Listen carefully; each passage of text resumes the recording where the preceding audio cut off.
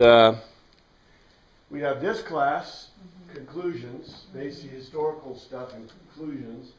And then next week, I said I would do translations and study. Oh, right, right, okay. And then the next week, I'll do veracity. Oh, you're, you're gonna be here two more weeks? Yeah, I'll, I'll keep doing until we run, until we get to the Jesus uh, birthday thing or whatever we do.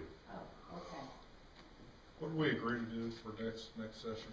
What's that? What do we agree to do for next session? Torah, the Torah class. So I'll redo the Torah class, and I don't know if it'll take uh, one or two classes, uh, one or two semesters, trimesters, what we're doing. But uh, I, I'll plan for one and then see if it works into two. Oh, there's another one. Where is everybody? I know, I was just saying. They're playing hooky. They got they got so excited about ending Hebrews.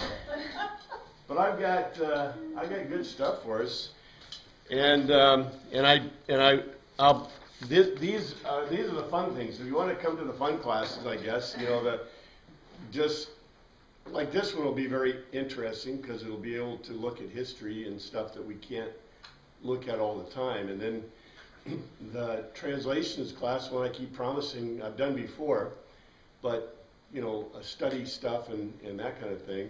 And matter of fact, I had somebody ask about interlinears, and uh, I've got that in, information there too. And then um, I said I'd do an expanded veracity, and then, like I said, we'll just play it by ear.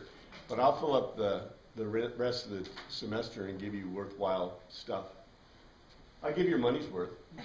yeah. Well, I picked the word today, you know, L O G O S, logos. And the reason I picked that is because this is a word that is always translated, mistranslated, in my opinion, said, because to a Greek person, this word means a logical argument. Always means a logical argument. Um, I don't know. I, it's beating a dead horse, but I didn't. I just. This seems like the premier word since it's probably the word most. It's maybe the word most used in the New Testament. Le, Lego and logos. And it's the word that's translated, you know, um, mistranslated, in my opinion, all the time. Like in John, the word, right? Logos here, and this is the word, this is the word, this is logos. In the beginning was the word. But it's not word. It means literally something said, and it means specifically a discourse, a subject discourse and reasoning. They say also, but most specifically in Greek means a logical argument. Period. Dot. Right. We know that, right? Because we call it logic. And also, there's a software program that they used to make for kids called Logos. And Logos means logic. Period. And argument. Anyway, and then we have the word T E E L O S. Telos. And telos is the unstated conclusion. Specifically means. Um, I put, I, I copied this, so I probably shouldn't have copied this, um, but we know that the telos is the, the um, projection of, pr- projection of the, projection of a shape, not shape, what's the word I'm looking for? It's a projection on the horizon. Um, Perspective line? what's that? Pers- Perspective. Yeah, the vanishing point, the vanishing point. It's the vanishing point on the line, which, it, okay, this should be really interesting to you. Okay, here's a historical beautiful. When did Western art begin using vanishing points? 1400s Renaissance time period? Yeah, exactly. When did the Greeks start using vanishing points in art? Probably earlier. They did everything else earlier. No, they never did. Oh, they did. Really? Yeah, yeah. If you look at Greek art, what's well, they they may have used vanishing points, but what is the biggest characteristic of Greek art? It looks flat. Yeah, it's two dimensional. You know, there is some. If you go look at the Pompeii things, right, there are some. Um, what do you call it? You know, shading and, and graduation, kind of trying to look like. depth. Yeah, there's very little depth, right? Right. There is some, so obviously maybe they conceived of it, but the vanishing point to them was more important where? Where do you think? Where do you really see the vanishing point idea? Do you remember that they made columns they made the columns so they looked straight by making them bow out. Do you remember that? They basically, the Greeks were really, they really were whacked about symmetry. Totally whacked about symmetry. To the point that they would make their, when they made the columns at first, if you make a column straight and you look up at it, what does it look like? It gets skinnier. it gets skinnier, like because of perspective. So the Greeks were like really into, well, I want it to look square and I want it to look straight. So when they made their when they made buildings even, they made the walls bow out slightly so that the perspective was that they were straight. This is really weird if you think about it, right? It, to us, from an artistic perspective, we'd say, would you make a would you make a skyscraper bow out intentionally so it looks straight? No. In fact, you'd say in the perspective it looks strange. So what I'm telling you is you have a society okay. They complain about us just drilling through like like hills to make straight roads. I think that's a very positive thing. A straight road means you get less, takes less time to go, less energy to get there, right? Safer. Mm-hmm. And safer. The Greeks would have done what to make it better? They would have made the road, they, well, they would have built Looked like an roads exit anyway. wound. What's that? Looked like an exit wound. Yeah, yeah, exactly. So to the Greeks, it didn't matter whether you got there quickly or you got there safely. It's that you got there and it looked good. Just saying. So I'm just saying, this is really a very different way of looking at the whole wide world. But we know that we have the logos to tell us, and that's the whole point. So Hebrews is a set of logos to tell us that gives us to an end point. And what I did, and we'll go through this a little bit, but I tried to, I went back through the whole thing of our translation we did, and I grabbed the primary thoughts in each chapter. And if this looks really different than what you see in some of the outlines you get on Hebrews, well, thank the Lord that it's what I would call a cultural understanding. But we'll see how it fits together. And I think it's, um, okay, has anyone looked at a Hebrews outline recently? Go back and look at one sometime just for fun and tell me, does it look reasonable? I would argue that it goes like this. Because the authors, if you look at it from a translation that is not cultural, it is not logical. It is very, you know, they have warnings about this. I have it in my notes. Um, let's see. I, I don't think I erased it from my notes, but I'm, yeah, I did. I took it out of my notes. I just got the first part of Hebrews itself. But, uh, yeah, okay. Um, here, here's, here's some of it. I've got a little bit of here. Uh, chapter 1, the first warning don't drift. Uh, this, the uh, second chapter, demonstrated by his humanity. Oh, the theological basis for Christ's superiority. Let's see. Uh, Christ is superior to Moses. The second warning, don't defect. Uh, Christ is superior to Aaron. The third warning, don't degenerate. Uh, the reminder of the promises of God, the priesthood of Melchizedek. Anyway, does that sound reasonable, logical to you? Does it even sound like it fits together in a logical sequence? You know, especially since they're talking about, okay, they start with the first warning, the theological basis for Christ's superiority, and the first warning, don't drift. That just doesn't fit anyway. Anyway, we'll look at this, and that's what I got. But what I really want to look at to begin with is let's go back in time, and I try to remind you of the time factor, but you notice what I put against the board here. So we'll have an oral test. You guys all know these numbers. These are all, all ones we talked about. What is the significance of minus 6 or 6 BC? Minus 6 AD, 6 BC. Christ's birth. Christ's birth. Oh no! What happened? What happened? A little mom counted wrong. Yeah, a monk counted wrong, and we started with the wrong date. dates. Man, it's Augustine. It was Augustine. It was during, uh, I think Augustine. It's during Constantine, right? And somebody was trying to calculate it for Constantine, I believe, and they got six years off because they were using the Roman something or other and got all mixed. I don't remember. I didn't. the date of the founding of Rome or something, and they miscounted. And they miscounted. Yeah, something happened that wasn't quite right. Dionysius, Dionysius was his real name. The most important thing to recognize from this, though, is what? Okay, okay. Today, I have an Apple Watch on my arm right here. This Apple Watch is connected to the internet through my phone. My phone is connected to a atomic clock. How accurate is my watch? Perfectly. Yeah. The only thing that's messing it up is probably the cosmic rays coming through the walls, and you know the fact that the Earth is spinning so fast that it's got a little bit of um, what do you call it precession. Holy smoke!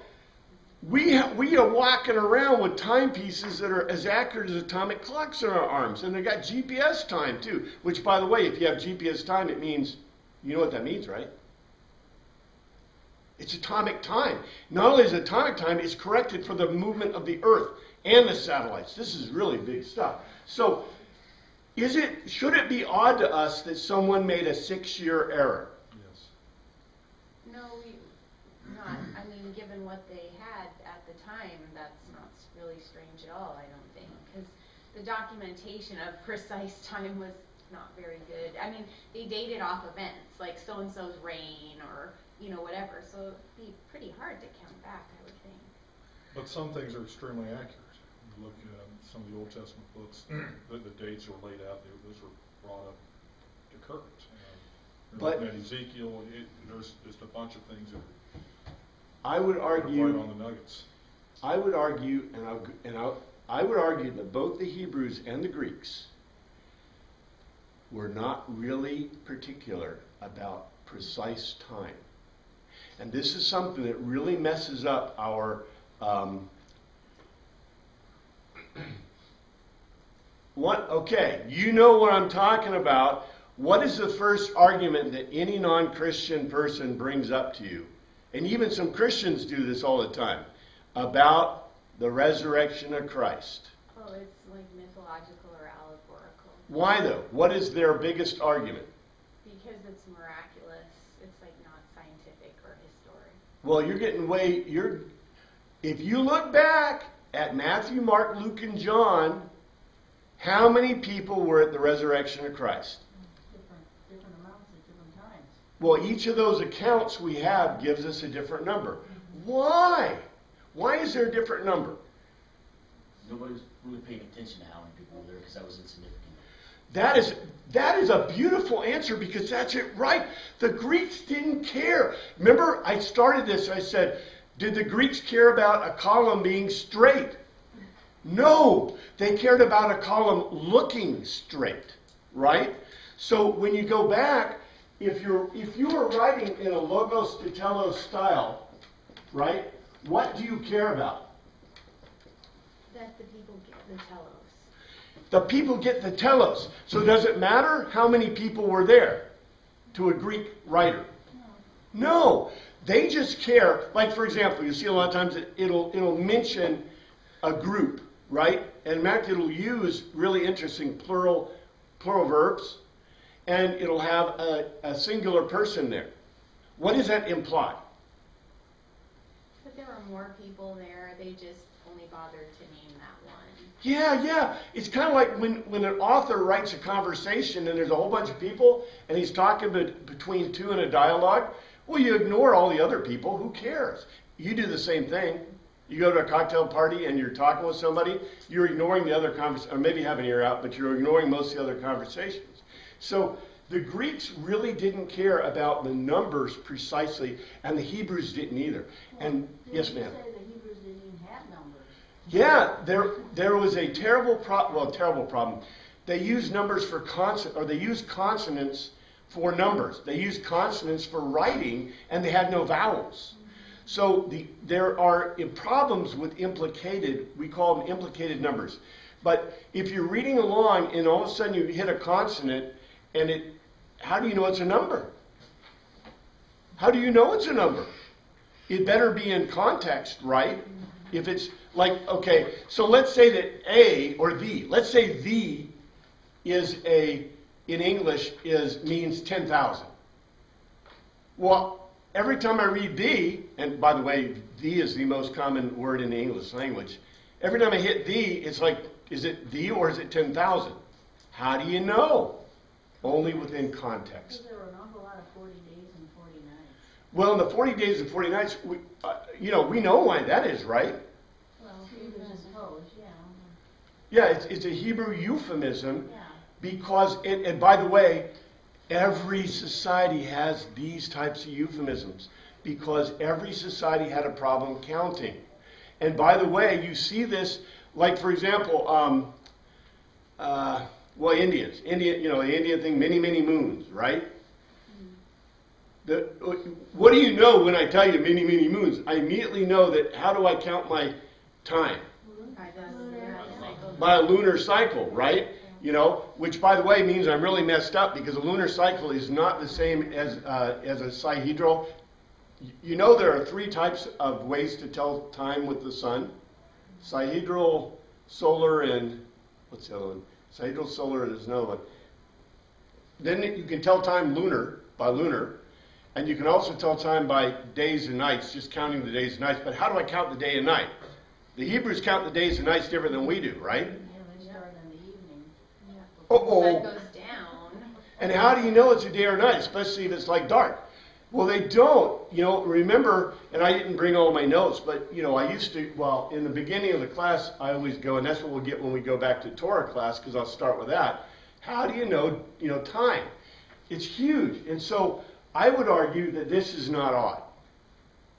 You know, miscounting by six years. And, and by the way, okay, um, I- I'll just throw this out, but I, I've had people tell me, church people, which is great because it means they're reading their Bible, but they say, you know, NASA went back and found out that there was a day missing, Oh, and you know that was the day that supposedly, you know, Moses stopped the thing. You know, Joshua. uh, Joshua stopped. Stopped. Anyway, do you realize that a day in that much time calculated, it's less than 0.000000000, you know, percent. It wouldn't affect anything, you know? It's like a second in a year. If you, you know, correcting a second a year, it's a big deal to the National uh, Clock Authority when they do it, but it doesn't mean anything. Does it mean anything to you? Do you even notice a second missing from your year? I'm just saying. It, it's almost Ill, it's so illogical. It's silly. It's called macro. You know, you do a macro analysis and it doesn't fit the thing. So I'm just saying. We, we, you can't, you got to use reason, right? We got the three methods to know truth, and this is the way I can integ- reintegrate that, but the three methods to know truth. So, 33 AD. What's 33 AD? Death Death and and resurrection resurrection. of Christ. Death and the resurrection of Christ. Yeah, that's the.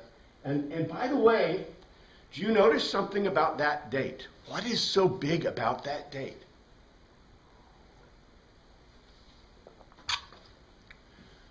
The fact it's so accurate. Nobody in the world disagrees that 33 AD is not the death and resurrection of Christ. They will say it's not the resurrection, but there's no one in uh, historical knowledge that can say that it's not the death of Christ, right? And so important that what did they do to our calendar? The presumption was that Christ died in 33 AD. But they didn't start our calendar based on when he died. They started the calendar based on his the presumption of his birth, which was supposed to be 0 AD, right? This is a big deal. They knew this date. They got this date a little bit wrong. Because they knew Herod died in four BC. Yeah, That's how, yeah. why, yeah, but it was six. Well, they, they just counted it wrong. Mm-hmm. Yeah, and by the way, okay, we knew Herod died in 4 BC. 4 BC, that's cool. This is something that non Christians use against you all the time. Because what, what do you say? Well, Christ was born in 0 AD. Well, Herod died in 4 BC. So how could how can you be right? Yeah. And what you have to do as a Christian is you have to say, well, I know the dates, you know, Christ was really born in 6 BC. They made an error. What's so hard about that? Now, the Pope may not be able to say that, but we can, you know, right? That's what Martin Luther cut us away from the Catholic Church. But I think what's really amazing is do you realize that the world's time structure is based not on this necessarily, but on this? This is the defining moment that people cared about. The birth just happened to be, well, let's start at the beginning of the Messianic age, which is, by the way, what it is. I'm going to put it in here, although it's a false thing. This is the beginning of the Messianic age. What do you mean by it's a false thing? Because it really, the beginning of the Messianic age is 6 BC. Oh, so you But- put, that's a zero. But the zero, yeah, I'm sorry, zero, zero time is the beginning of the Messianic age. Everything this way is the seventh day of creation. Everything this way is the Messianic age, which is the eighth day. If, if you want to play that, I mean, the, matter of fact, there's even a bookstore called The Eighth Day because the eighth day is a synonym for the Messianic age. By the way, this is really cool stuff, but historically, right, God rested. The implication is that It's back to work. he's back to work. Yeah. The age of Messiah, God is back to work. But he was sure working hard this period too, right? Anyway, I think The I think Israelites made him work pretty hard. Yeah, really. beautiful stuff. 52 AD. 52 AD. Paul, Paul- is Paul's death somewhere in between those dates? Um, well, 52 AD, I put it up here because this is the date that we know that Thessalonians, he wrote the first letter, 52 AD, to the Thessalonians. And we studied 1st and 2nd Thessalonians, which means that Paul was converted sometime between 33 AD and 52, right? So, and we know we don't know the exact time. I mean, some people try to work it out, but we don't know exactly. But Paul was converted in this time, and I've told you before, where was Paul in 33 AD? Jerusalem. He saw it, and he never talked about it. You know why I never talked about it? I wouldn't either.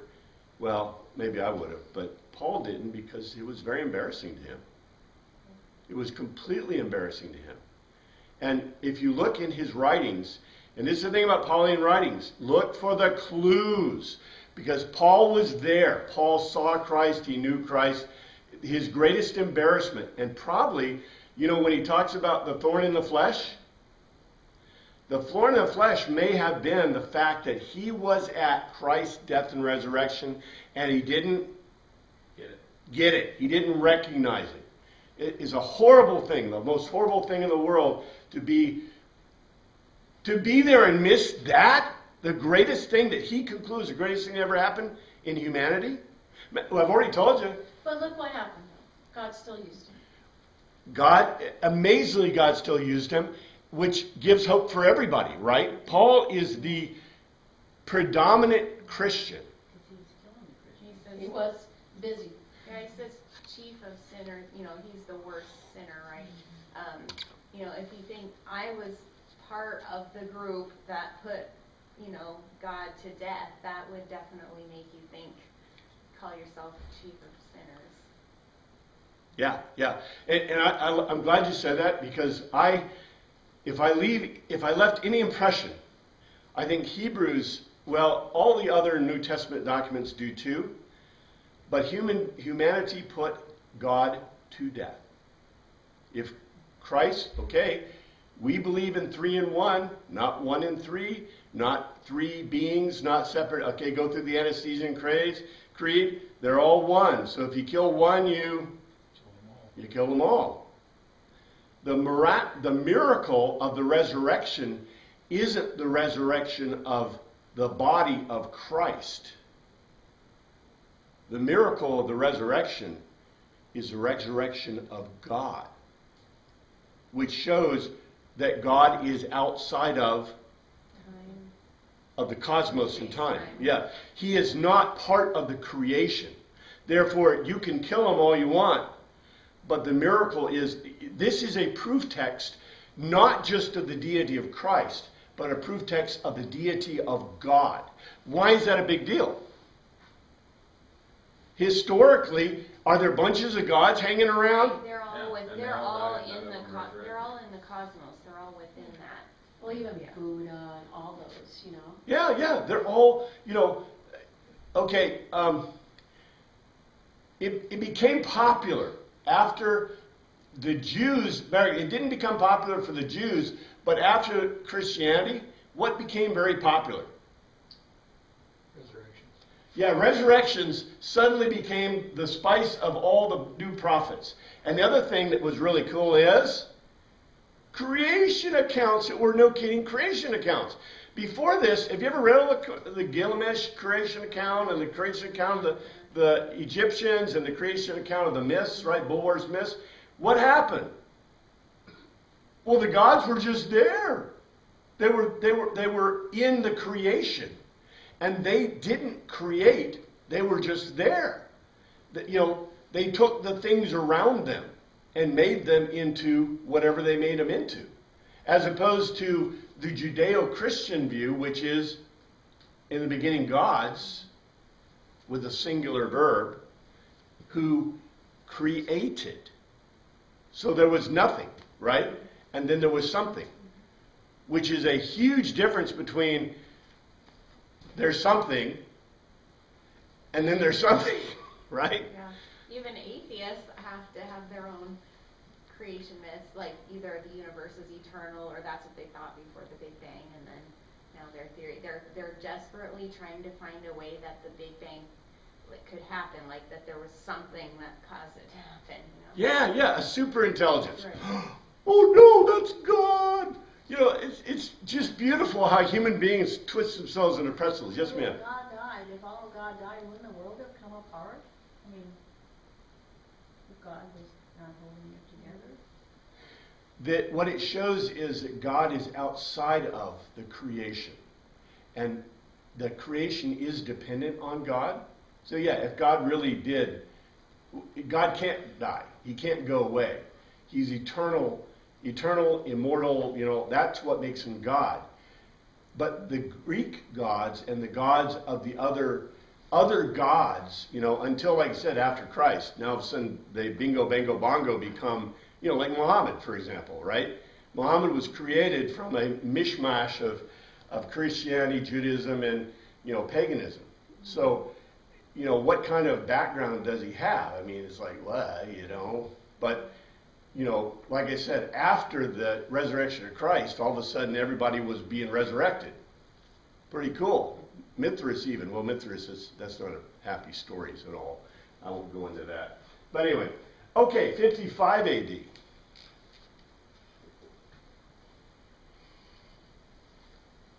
that a council or something? That's not Death of Paul. Now, many argue. Um, many argue they don't know when, but uh, most most think Paul died in Rome around 55 AD, which means that all the letters that he wrote were written between 52 and 55 AD, which is a lot of writing and a lot of doing, right? But it also is very interesting to us because there is very little historical disagreement on the date of Thessalonians.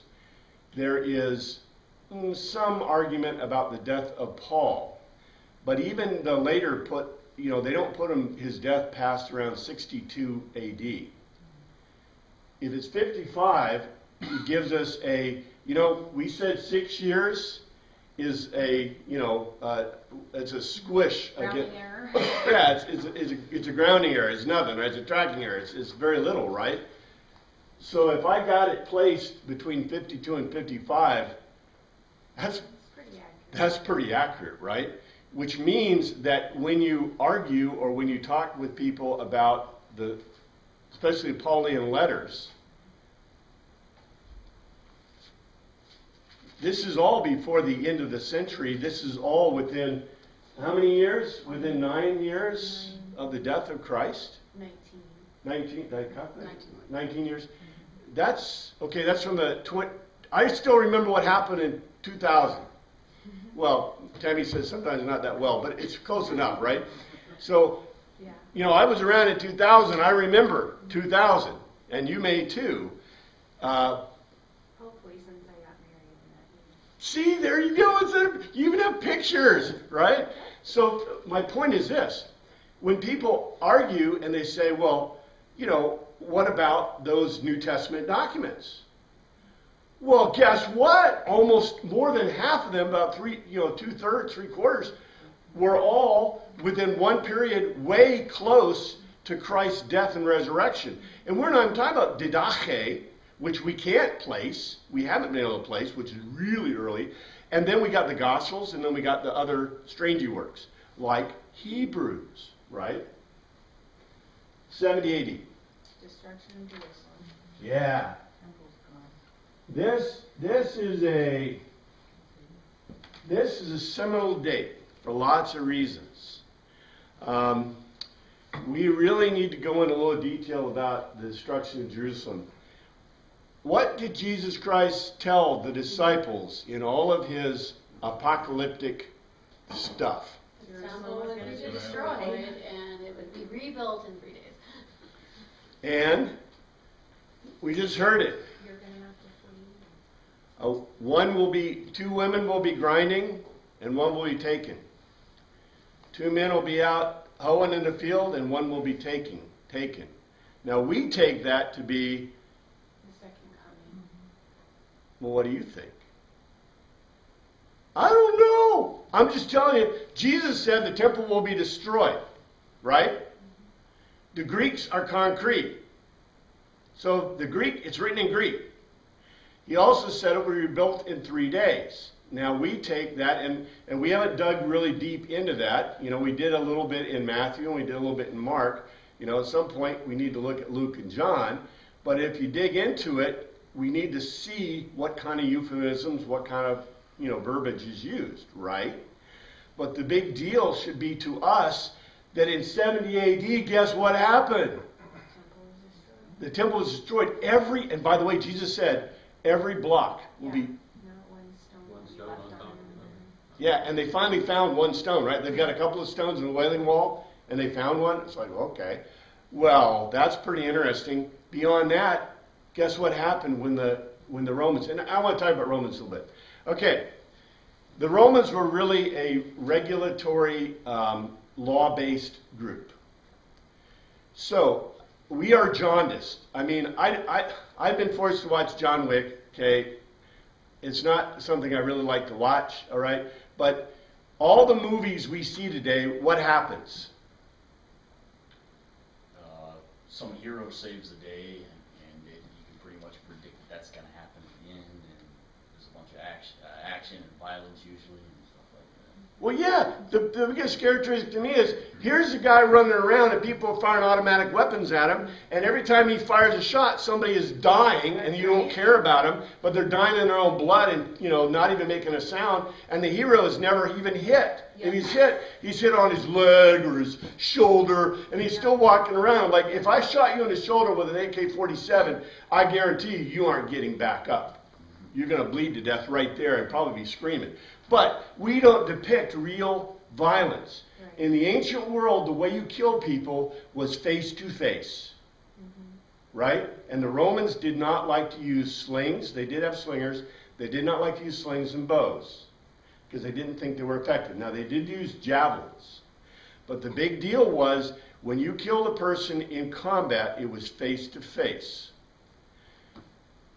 We know the Roman legions. Now, sometimes they said, you know, in warfare, warfare is warfare. And if you read my book, you'll see I try to depict that ancient warfare as it is. But one thing I didn't do that I should probably have put even more emphasis on, but I did kind of try to get that in there, is if you are a, it ain't the John Wick world, okay? You're not roaming around with nine millimeters just shooting every person that you see. Why? If, if, if you, if I attack you, even if you don't have a sword, and you scratch me or gouge me or poke me, what could happen to me? Die of an infection. Yeah, the biggest thing that people died of in those days was infections. Now they would treat you, remember they wouldn't treat people with illness, but they would treat people that were injured from warfare, right? David, do you have a, a point or question? Well, I was just gonna ask if you've ever read uh, Lieutenant Colonel Dave Grossman, the book on killing? Mm-mm. Okay, interesting book. He, he maintains that people have this, a natural uh, inclination to not kill their fellow human being, and it, it requires a good amount of work in order to kill somebody. Quite a bit of training. Yeah, well, I think I think that's absolutely true. that is, we find that in modern in the modern world, we're desensitizing children and people by showing them John Wick and other things, which you know that's why you get all these crazy stabbings and crazy shootings and stuff because people have been desensitized. So I think it's a really bad thing. But I'm just telling you, when the Romans, it, if the Romans even told them to go into Jerusalem, right, and destroy the temple, what are the Romans going to do? What are the people going to do? If the Romans come in and they say, We've been ordered to destroy the temple, they're going to destroy the temple. Are, if, if a person is running, do you think they're going to kill him or harm him or harm him or do anything to him? No. But if they stood up to him, right? Like if, if the temple guard pulls their weapons and says, Not by my shinny shin shin, then what's going to happen? Yeah, it, Over my dead body. Yeah. yeah, yeah. So I'm, what I'm saying is there, there was there. It's not like it's depicted. You know, the Romans did not want to kill people. What happens if you kill the Roman? Pilate was a really smart guy. If you kill people, what happens? They don't pay can't pay taxes. taxes. They can't pay taxes. They can't do work. They can't build your stuff, right? And and admittedly, you know, uh, it wasn't Pilate doing this, but you know, Pilate had already taken a lot of the money from the thing to build the aqueduct, which is really cool. He took the money from the temple um, treasury because he thought it was a better thing than for the priests to hoard it.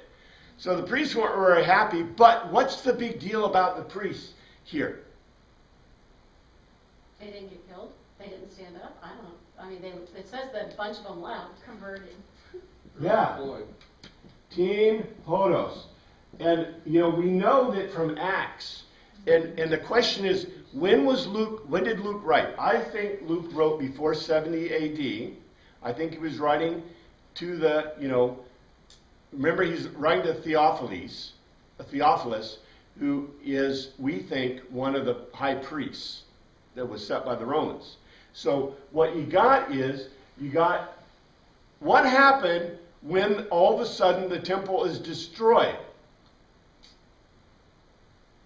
What did all those priests, which are, by the way, the Pharisees, the Sadducees, what happened to the Sadducees? they went down Alexandria. Well, well, they weren't croaked, Yeah. but they go, the Jesus guy, okay, Jesus guy, the most important event in their history, right? That's only, you know, what, 40, Thirty-seven. 37 years, right? Almost 40 years, that's it, right? A lot of those people were alive. And then all of a sudden, the destruction of Jerusalem. What do you think Teen Hodos has been telling them? This is gonna happen. Jesus said happen. this was gonna happen. Yeah, Jesus said it's going to happen. What do they go? Ah, yeah, yeah, sure, yeah, sure, right? Sure, yeah. And we know that from Acts and from Luke that lots of the Sadducees, which are the priests, were converted to Teen Hodos. Then all of a sudden, when it's the temple's destroyed, number one, they're out of jobs, but number two, what do you think they said? Jesus was right. Yeah, you know. Now the the Pharisees had a different thing going on, right? Because the Pharisees were part of the already a part of the diaspora. But guess what? Where are you going to find Sadducees? There's only a couple of places. Where the other temples were. Exactly. So you're going to see Sadducees, but the Sadducees with the in the Essene community in the Essene temple were Essenes. right? And the Sadducees, the only other place you're going to find lots of Sadducees is in Alexandria. Except you got a problem, right? The historical problem. It's not Jerusalem. It's not Jerusalem. And so the Pharisees or the Sadducees that are the priestly class in Jerusalem, when they go to Alexandria, they go, What should I do? Exactly. This isn't right. And guess what? Do you think that the, the Sadducees in Alexandria are welcoming to the Sadducees from Jerusalem? It dilutes the offerings. Exactly. You got less food and less money and less good stuff. Plus, remember the big deal is we have we have three school we have four schools, right? We have the school of the Galileo, we have the Jerusalem school, we have the Babylonian school, and we have the Alexandrian school. Are they philosophically and theologically aligned? No. Not at all. As a matter of fact, the Jerusalem school and the Babylonian school were really closely aligned. The Jerusalem school and the, and the Galil were widely apart. Remember? You know, is it okay to is it okay to uh, to uh, divorce your wife for any reason? Is it okay to uh, do something on a Sabbath? All these things. These questions were questions that the Jerusalem school agreed with, but the school of Galil did not agree with. The Jerusalem school was a more liberal, libertine school to a degree. The Alexandrian school is a different school. We don't know much about the Alexandrian school. Do you know why? Well, it Wasn't documented well. Why? didn't Alexandria get burned? Is that It had a huge library, which is amazing, so I don't. Well, when a huge library, it may have had 20 works. but that's But right. also, when did the library get burned down? I can't remember. It was late It's like, I think 200 or Oh. uh, something like that. I, I'd have to look back. But the, and they blamed it on Christians so that they could do a, a, uh, a, you know, a thing against the Christians, right, at the time. But one of the biggest deals is that the reason the Alexandrian school wasn't written down very much is because of Hebrews. And that's something I want to get into a little bit if we have time. 90 AD. What happened in 90 AD? Council of Jamnia? Uh, we think about 180, but I didn't include that. I put this in because this is when we think Revelation was probably written around 90 AD. Some people think that John may have been written in this period too, but Revelation, marking the last book in the New Testament, is a late date book and a late book. This is one of the reasons that Martin Luther and a lot of other Christians didn't like it. Um, it is also a very simple Greek and not very good Greek. But anyway, Revelations kind of marks the end of the period. What I thought was very important for us to note, and this is this is ammunition, right? If Revelations is the last and the first is Thessalonians, you know, that we have good ac- good accurate data on, uh, this is not that long of a period. This is less than 40 years, right? 38 years. I mean, this is nothing. And so when people, you know, I hear it all the time. I read Brown and the New Testament was written in, you know, 300 AD. It's like, right, okay, right, yeah. You know, I got way too much data, and any historian that doesn't agree with this is a wackadoodle, right? It's, it's, it's just way outside. Did you find out when it was? Well, this one site I'm looking at, first of all, it says as many as 700,000 scrolls may have been in the library. Uh, yeah, sure. But anyway, it said there's three theories, but the earliest one is um, in 48 BC that the library was accidentally destroyed by Julius Caesar. But the next theory is Christians yeah. 1991. Yeah. So they, I don't think they really know exactly when it burned down. Let's see, I'll keep looking. Which is, okay, which tells you what? It wasn't that big of a deal. It wasn't that big of a deal. Okay, like I told you, in a, in a library in the ancient world, if you got seven works, you got a complete library, right? And we're, I'm talking about up until Gutenberg. If you have seven works, you have a huge library up to. It's not like what was that book called? It was a really cool book. Um, they made a movie out of it about the library thing and the library burning down, and they had thousands of words and thousands. Floor upon floor upon. Yeah, the roads, the name of the roads. Yeah, Yeah, Yeah. yeah. Name of the rose. Yeah. That is so false. That is, Right, right, you know, Right. Mar- the fact that Martin Luther, it took Martin Luther until he was, what, 50 years old to find a Bible in a library that was chained to the wall. Does it, doesn't that say something? I mean, our movies, you know, Martin Luther walks into a room and there's books on every corner, right? Filling everything. That, you didn't have that until after the end of the Enlightenment, for goodness sakes, right? As a matter of fact, I had a question by, I was talking to somebody last night about, you know, they said, well, well what about, you know, all these uh, scrolls and codexes and stuff?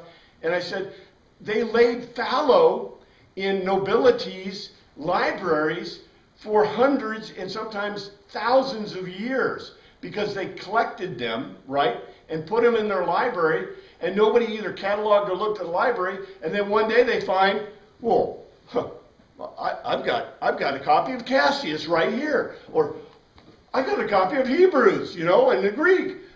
You know what I'm saying? There are treasures out there that they found, and finally, you know, a lot of these moldy old libraries, which, by the way, the the king took over because of the. Yeah, one of the ways they destroyed the nobility and destroyed the wealthy in Britain is they taxed the wealth tax, death tax. They death taxed them to the point where they couldn't afford to keep their stuff. And so what? Still going on. And it's still going on. Like when, uh, you know, dukes or whatever, they may die, like these treasures, they have tiaras and all this stuff, like the government takes it because they're not able to pay the taxes, so all these things are just coming into the hands of the government. Yeah, and it's kind of like that, that picture at the end of the Lost Ark, right, where they have that big thing full of stuff. It's like, yeah, it's like the British government, like, well, you know, we don't know what's in this library, but we're going to pack it up and put it in boxes. And they're sitting there rotten. Oh, Now, who knows? other site said estimates range from forty thousand to four hundred thousand scrolls, but it said the library quickly acqui- acquired many papyrus scrolls due largely to the Ptolemaic king's aggressive and well-funded policies for procuring texts. So, I don't know. Another site that I looked at also said the different theories were Julius Caesar and the Christians, because part of the library's holdings were in a temple, I guess, a temple of Serapis or something, and the Christians turned it into a church. Oh, no. So Oh, well. they said like, uh, you know, that all, you know, pagan scrolls were destroyed or whatever. Very interesting, but you know, I really would like to know. Let's send somebody back in time. But since we haven't found it, we don't know where it is, and we don't have very good, accurate data, which should tell you something, right? What do you know about every library in the world, ever?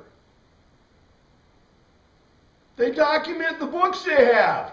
And if you don't have a list of books, don't, don't you think there was a list of books going around?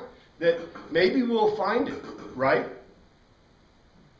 But there's got to be a list of the, of the works, of the books, you know, the scrolls, for example, in the Great Library. Well, where is it? I'm just saying. Anyway, um, let's go look at the chapters really quickly. So, the very first chapter, and like I said, I looked back all this. Number one, Christ is a God. That's what our Hebrews writer starts with. Christ is a God. And then it has all that stuff about the angels. But I, I took all that. The, the messengers are also ministry. The messengers are ministry. The message beginning in Hebrews is about this the messengers coming into the the messengers coming to the Hebrews and ministering with the Hebrews. Okay? Um, chapter 2, this is so obvious. Christ is the Amar, He is the Logos. Remember, it talks about John, but I, I've talked about this before. I don't, I don't necessarily think I have to go into huge detail. But remember, Genesis 1, in the beginning, gods, plural. And in the Septuagint, it says, in the beginning, God, Theos.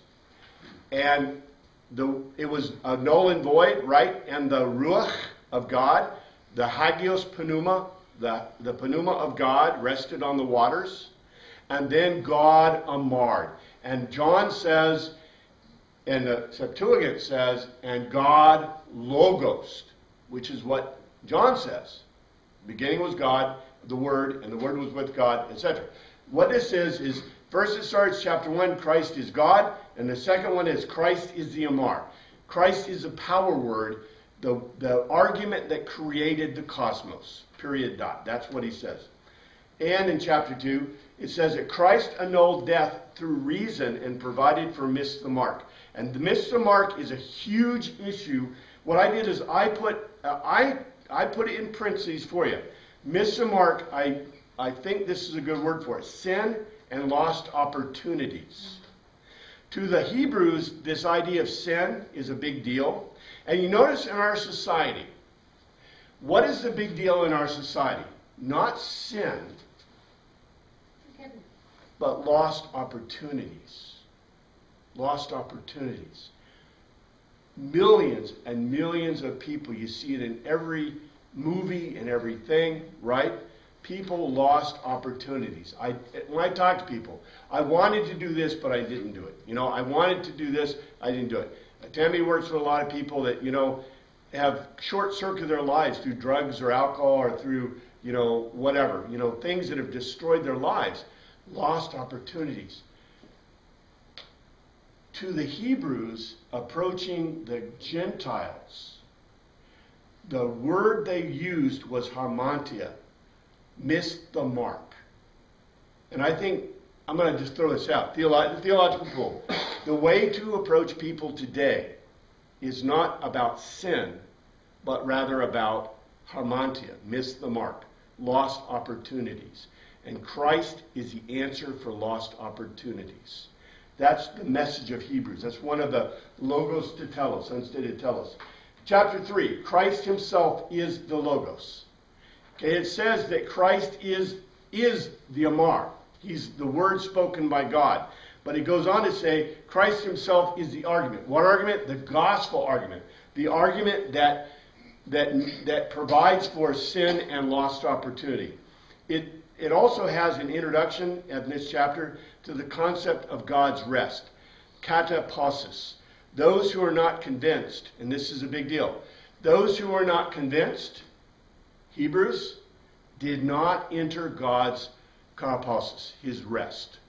Huge idea, and it equates it with the abode. And also, if we look at Alexandria, what happened? The people were chased out of their place in Jerusalem, and they're looking for some place. They're looking for rest. The answer that Hebrews gives them is you find rest by being convinced, and Christ is the argument. Four, Israel heard the Logos but were not convinced of the Logos. Israel was told by God, but they were not convinced. And the, the second part of this, we who are convinced enter into God's rest, just as he said. We must speak the message about Christ and God's rest.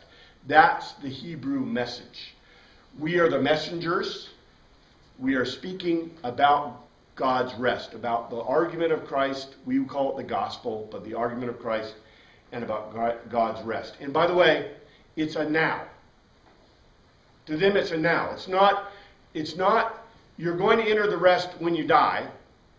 It's not you're going home when you die. It's you are in God's rest right now.